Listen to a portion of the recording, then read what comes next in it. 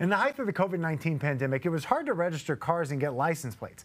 Now, four years later, you still see some temporary tags way past their expiration. Yeah, apparently some Aurora drivers are fed up with it, and they're asking police to do something about it. Your reporter in Aurora, Michael Abeyta, caught up with the traffic team. This is something the people of Aurora want. They asked City Council and the police department to crack down on bad registrations. Obviously, the boxes are a little different sizes. When it comes to license plates, Sergeant Scott Benedict with Aurora Police knows what's real and what's not, and he's seen it all. I think the age of how old some of them are pretty, pretty striking because there's guys that haven't been employed here near as long as some of the, these temp tags are expired. He's the motorcycle enforcement team sergeant, and he and his colleagues have been busy lately. They have undertaken an effort to crack down on people with bad registrations, whether that be an expired tag, fake temporary plates, or even people driving without a plate altogether.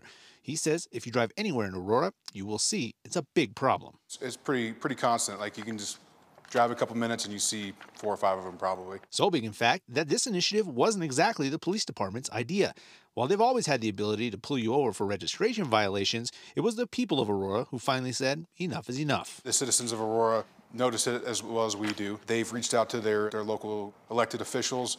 They've reached out to our chief's office um, and they've uh, expressed their concern. He says the department understands mistakes happen, and sometimes there's a financial reason why people don't make sure their registration is up to date. But if you do get pulled over in this summer blitz, the penalty isn't cheap either. The fines range anywhere between 15 and 75 dollars.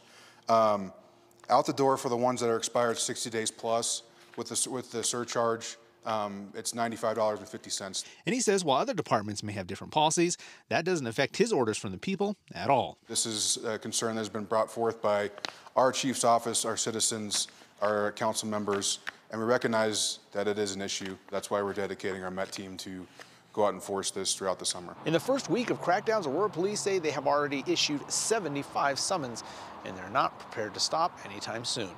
In Aurora, Michael Abeyta, covering Colorado First.